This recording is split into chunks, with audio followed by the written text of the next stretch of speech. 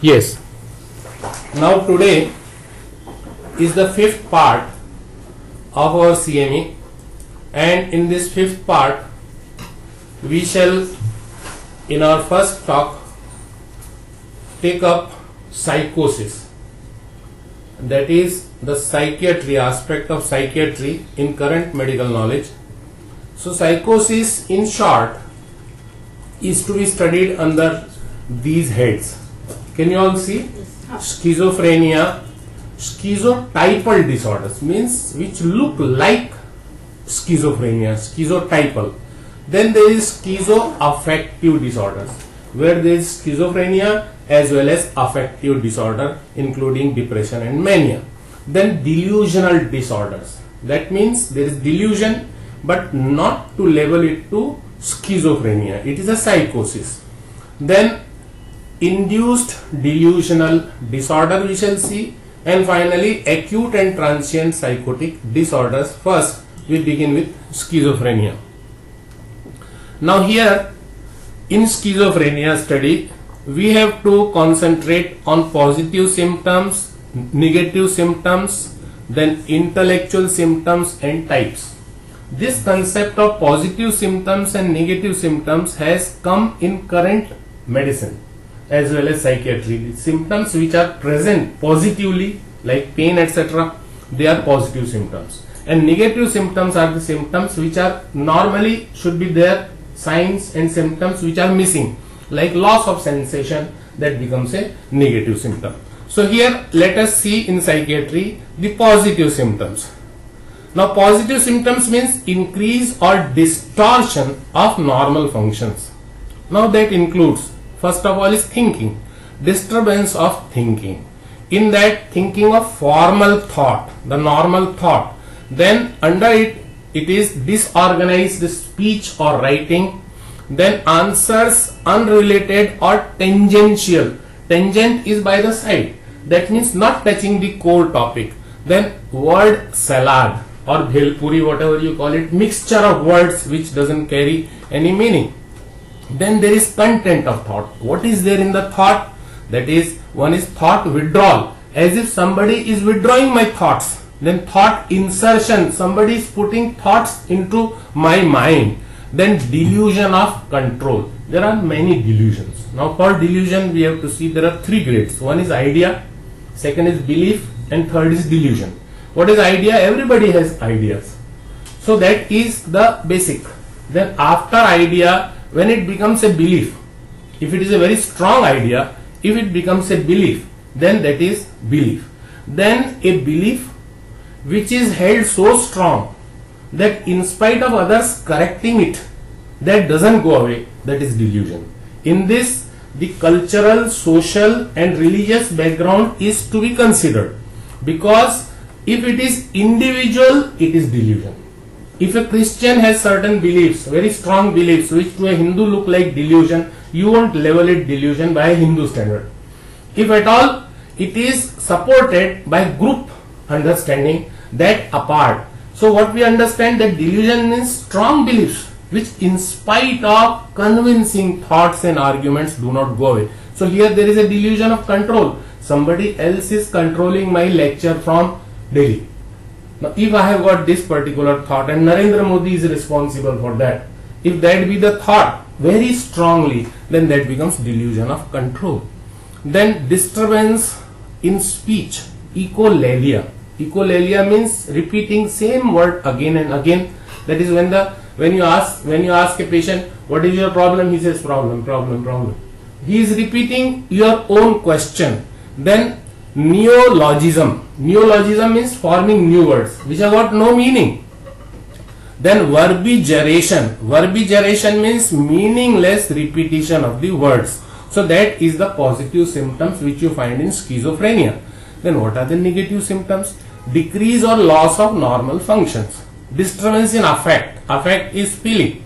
Now here expressionless, unresponsive facial appearance, no response on the face, poor eye contact, doesn't look into your eyes, reduce body language, just no movements in the body, no postures and gestures, then lack of sympathy or concern for others, you find that he hardly has any sympathy for others in the way the driver had some problem he was bleeding. He says no problem you you just wait here i'll go to doctor. This is my time to go to the doctor. So lack of sympathy or concern for others then incongruity. Congruent triangles and incongruent triangles of affect. That means at the time of happiness he is sad. At the time of sadness he is happy. So there is no congruence of affect incongruity of affect. Then disturbance in volition that is activity. Lack in initiating goal directed activities. One should have a goal. But normally these patients lack it then ambivalence in action. You cannot decide this way or that way this way or that way. Ambivalence. So like you know in our homeopathic repertory also we use the word ambivalent symptom like chilly hot and ambivalent. Sometimes chilly and sometimes hot. So here there is dexterous another word used for it is dexterous that means both sides. Then no interest in work or social activity. These persons are not active then disturbance in communication. That is no spontaneous talk. He will sit for minutes and hours will not open his mouth. Poverty of speech. When he starts speaking there is monosyllable answers in monosyllables. One one word yes no yes no. Then poverty of content. And if he says something in that there is hardly any material. So that is negative symptom. Then intellectual functions in schizophrenia primary mental functions like memory and orientation where he is what is the time etc time place etc orientation there is hardly any disturbance and usually it is intact. But attention and concentration are impaired. Lack of attention is there lack of concentration is there because there is withdrawal into own private world. As a result in tests of memory and orientation they get poor score they fail in those examinations. And impairment occurs in academic or occupational functioning poor score there. Social and interpersonal relationship they can't mix with people. Interpersonal relationship with friends family is disturbed. Self care is also disturbed will not take care of themselves. Seldom they return to pre-morbid level of functioning in these areas. So these schizophrenics they have this what is called as stigma or scar. That is scar is left and their personality does not return to the normal personality. So that in short is about schizophrenia. Then after that is the, in short about the symptoms of schizophrenia. Now the types of schizophrenia. There is paranoid that is a stable delusion constant delusion which are commonly persecutory. Somebody is following me. Also grandiose. I am bigger than Modi. I am bigger than my boss. I am bigger than my teacher. So these grandiose ideas, religious ideas, religious, not genuinely religious, just suddenly they become religious. Then referential or somatic. Somatic ideas or referential delusions. So these symptoms, these delusions are found in these areas somehow fortunately prognosis is better here. Because they return to occupation. After recovery from paranoid uh, schizophrenia they come back to their job. Then hebephrenic hebephrenic is something which is deterioration highest. Rapid progression sudden progress. Deterioration is in personality. Now personality you know is cognition conation affect and intelligence it is interwoven. All these things are integrated. Now once it is broken so there is schizophrenia. The meaning of schizophrenia itself is that the personality is broken. So there is deterioration in personality more prominent. Then mannerism means behaving like a particular manner. Grimaces making face like this smiling giggling laughing just laughing like this for nothing. So there is sometimes people have a habit that is a different thing but here they suddenly find these actings. Then rambling and incoherent speech. The speech what he speaks in the mouth itself you hardly are able to understand what he is speaking. That is called rambling and incoherent speech. Neglect to bathing, does not take bath, dressing, taking food etc. What is described as a sulfur patient in our Materia Medica. then course continuous without remission not that he becomes all right in between so this is hebephrenic type. Then catatonic type. In catatonic type if you ask the patient to keep hand like this in mental hospital they tell the patient to keep hand like this and then start writing. After 5 minutes the hand is like that only. So that is like a machine. So that is catatonic marked psychomotor disturbance underactivity slowness negativeness automatic obedience. You tell him to do a thing and he will do it. Stupor that is sleepiness. Then waxy flexibility. Posturing mutism. If he stands if he is annoyed on you and stands in a room he'll keep on standing for hours together. Children also do these things but then that is the passing in them. But here there is posturing and mutism mutism. Then echolalia means repeating the sound and echopraxia means copying. If you are moving your hand doctor is moving your hand patient is also moving his hand like a child. So that is echopraxia then last two types are simple where there is absence of delusion and hallucination extreme social withdrawal will not mix with anybody oddness of behavior decline in work shallowness of emotion no much happiness no much sadness indifference absence of will and drive. Hardly any desire to do. Even if it is 11 o'clock 12 o'clock the person will not get up. Self absorbed idle and aimless and no awareness or insight. When he is brought to the doctor he says i don't have any problem. This is the person who has some problem. That is why he has brought you brought me to you. Then undifferentiated here there is there are general features of schizophrenia but symptoms are not very clear. So that is the fifth variety that is undifferentiated. Primarily there are four varieties classical varieties of schizophrenia where normally in the books simple is written as first. It does not matter how you put the order but these are the five. Then after schizophrenia we go to schizotypal disorder. Now what is schizotypal disorder Schizotypal disorder is a disorder where you have got some trend like oddities in behavior and thinking like schizophrenia but not having characteristic symptoms or features of schizophrenia and found more in first degree relatives of patients with schizophrenia. Now those patients who have schizophrenia, their next generation, their first degree relations brothers, sisters, etc. They have this tendency, but not a frank uh, schizophrenia if it is schizotypal.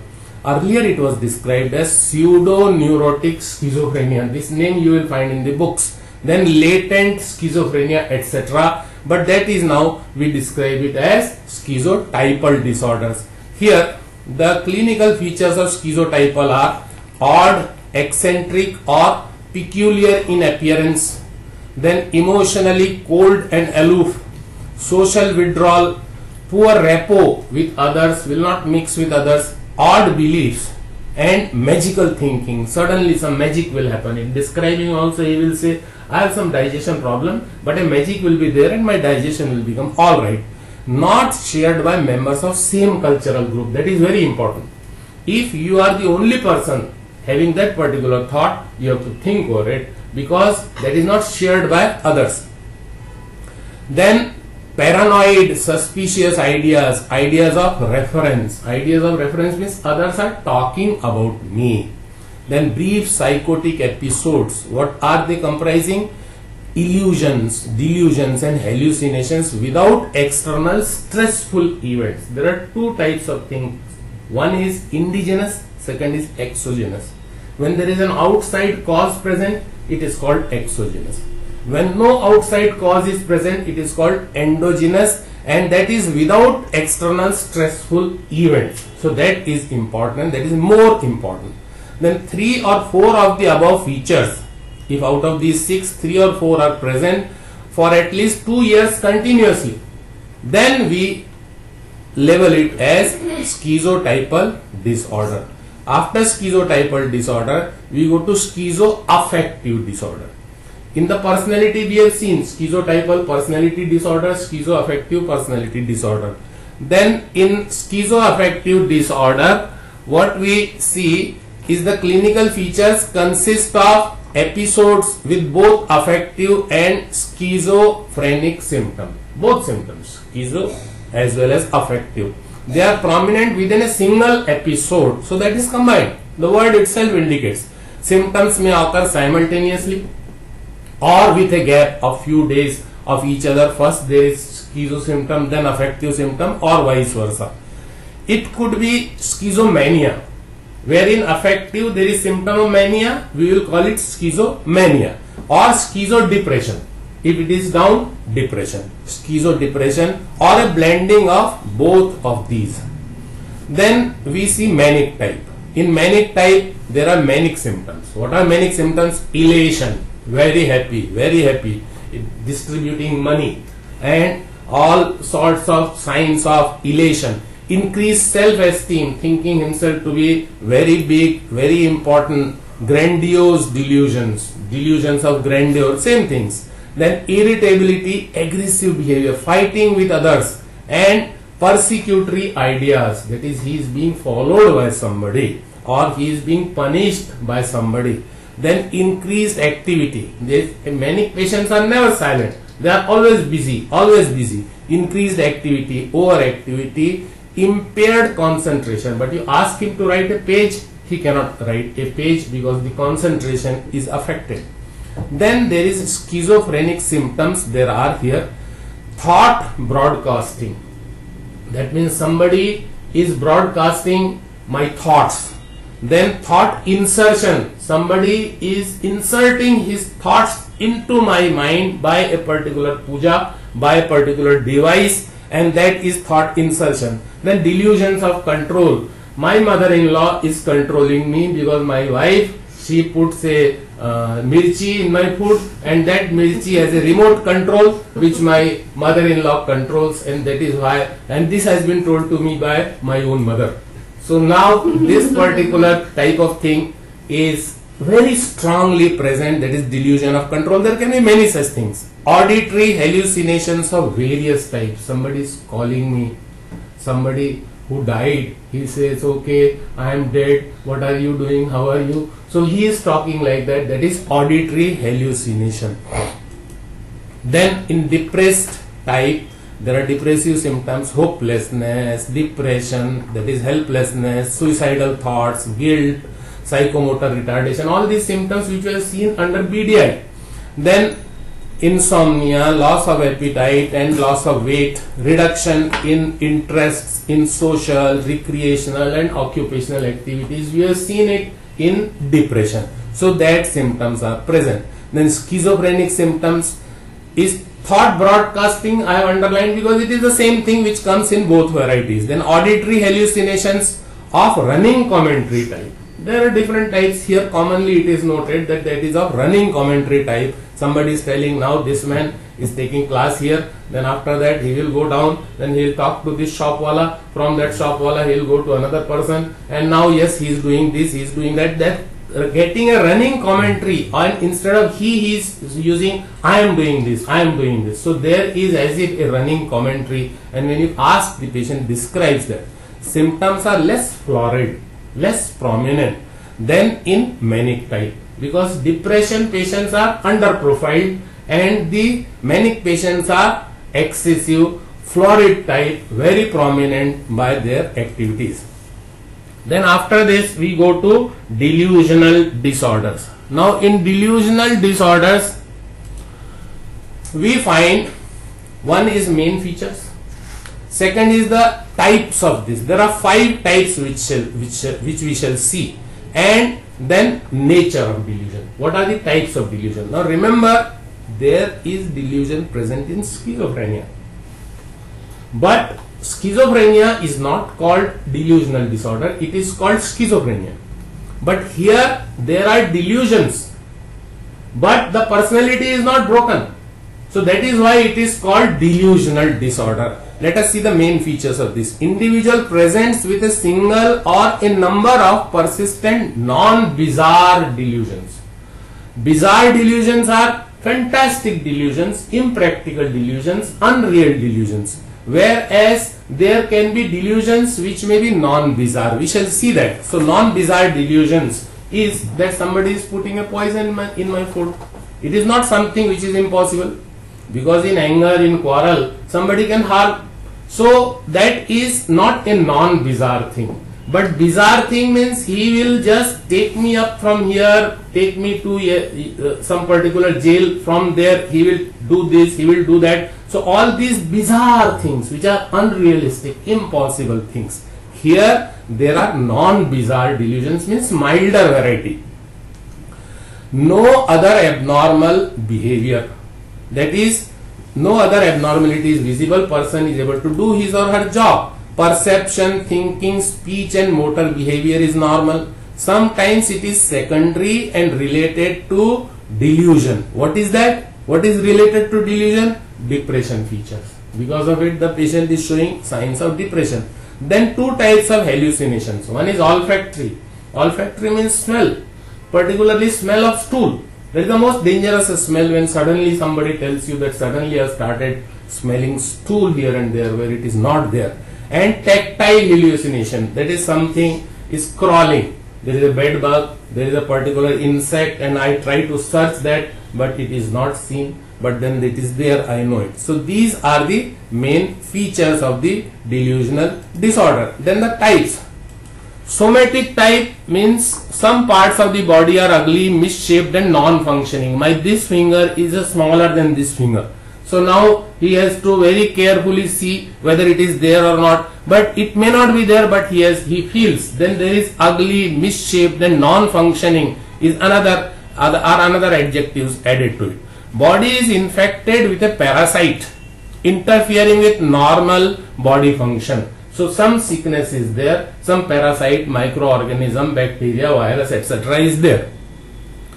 Then foul odor is coming from my body because of which others are not sitting with me and others are disapproving me and results as a result of this the person goes in self isolation doesn't mix with others and goes for repeated medical checkup from this doctor to that doctor so that is somatic type then there is jealous type of delusion. Without any cause of belief convinced in unfaithfulness of spouse. My husband or my wife she is a cheat or he is a cheat. And then there are things like interprets incidents incorrectly arrives at conclusion in support. And what is like that? If wife greets him with a smile on arrival from office he presumes that this is an attempt to cover guilt. What was the guilt? Because she was with her lover when he was out of work. So as a result when he came she just smiles to cover that. Then if neatly dressed if wife is neatly dressed then it is a, she is making herself attractive to other men. So there also he is suspicious. If clothes are crumbled then he says she was having sex with her lover in my absence. Then restricts as a result restricts the activities of partner wife. When husband is dominating he can restrict the actions of wife. Secretly follows her, pays money to the uh, persons who are just doing this job. And even has shows violence on her, is violent on her, beats her, punishes her, etc. etc. Because this jealousness, you must understand, is a manifestation of delusional disorder because person is not schizophrenic. You say he is uh, doing his work, doing his job, there is no mental problem. So you don't suspect schizophrenia but there can be delusional disorder of jealous type. Then persecutory type believes that some individual group or society is bent upon harming me, maligning me, making my image bad, obstruct my progress. And he suspects that the above are conspiring. What are they doing? Planning, conspiring, passing remarks, then threatening or humiliating remarks or following him. So that is suspicion and may complain to police also. May approach court also. May even resort to violence. He is so strongly convinced of this persecution that he acts on it. He does not only talk on it. Then erotomanic type.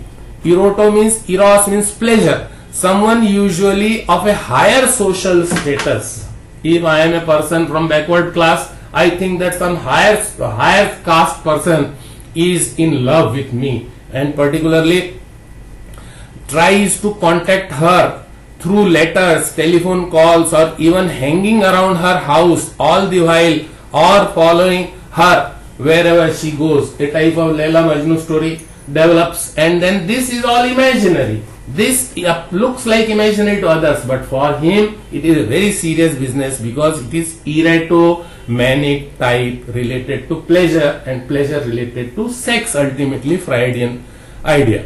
Then grandiose type. So that is belief that he is an exalted birth.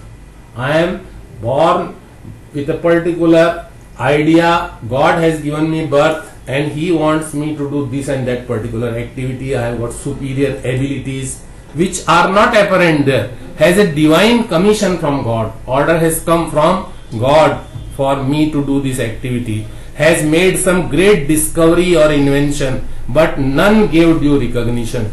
Then here hostile or alleged enemy who usurped, snatched the recognition. So grandiose type we have seen. Now we go to the nature of delusions. That what are the nature or what is the nature of delusions in these disorders? First of all, they are not bizarre like schizophrenia. Then plausible, that is convincing and real life occurrences like he is being poisoned, deceived by spouse. Being deceived by spouse is not something bizarre. That is day to day occurrence. Maybe the percentage maybe less or more is a different thing. Then getting infected. Now getting infected is not something bizarre. If you come in contact with some sick patients then you can get it. So these delusions are ranging to these things and the personality is not broken like schizophrenia. Now after this we go to induced delusional disorder. Now here there was another term used for this was psychopathology of association that by remaining together or communicated insanity insanity communicated from one person to another now, two closely associated people suffer from similar psychiatric disorders simultaneously.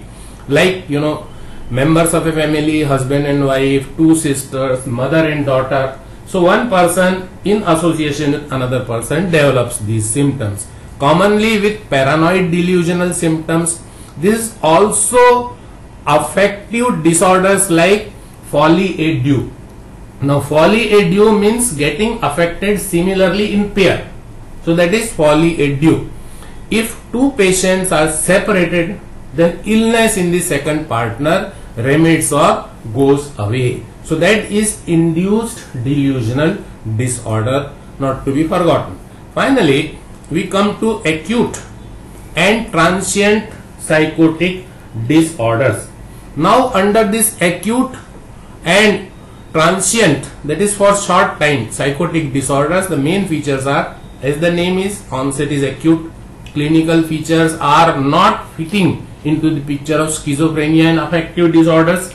Then change from the state of no psychotic symptoms to clearly abnormal psychotic state within either 2 weeks or sometimes within 2 days. From 2 to 14 days suddenly the symptoms develop. This person was all right before then suddenly he starts throwing. The symptoms i'm hearing this sound this and that all psychotic symptoms in scattered form are coming up multiple symptoms which are there they include one is delusions then hallucinations which can be about any perceptory organs uh, it could be olfactory, it could be tactual, it could be visual, it could be auditory, anything.